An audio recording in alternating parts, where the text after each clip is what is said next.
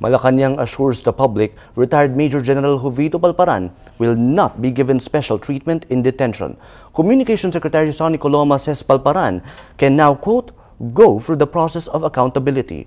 Palparan himself says he would not seek special treatment, only security from his enemies and an impartial trial. The Aquino government offered a 2 million peso bounty for Palparan's capture. Palparan went into hiding when a Bulacan Regional Trial Court issued a warrant for his arrest in December 2011 for the 2006 abduction of students Sherlyn Cadapan and Karen Empeño.